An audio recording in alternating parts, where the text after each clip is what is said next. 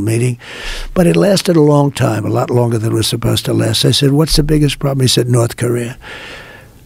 By the time I finished, I was we we had no problem with North Korea. We were really it was a little tough at the beginning. Remember? Mm-hmm. He said, uh, "I have a red button on my desk." I said, "I have a red button also."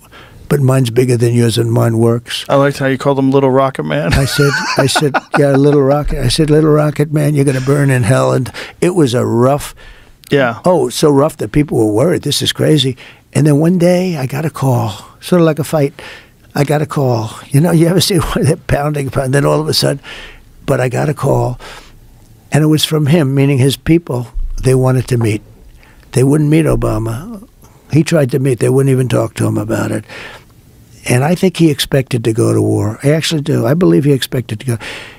And we checked their nuclear stockpile. It is substantial. I mean, it's that's. I said, "Do you do anything?" I got to know him very well.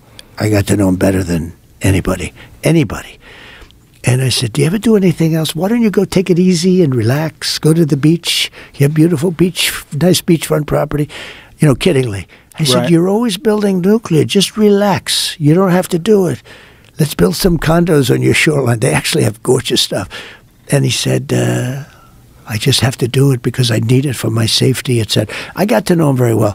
We had no problem with him. If you have a smart problem, if you have a smart, a really the right president, a smart president, you're not going to have a problem. And I say it to people: we have a bigger problem, in my opinion, with the enemy from within, and it drives them crazy when I use that term. But we have an enemy from within. We have people that are really bad people that I really think want to make this country unsuccessful. When you look at what's happening at our border, Joe, when you have people coming in that when when other countries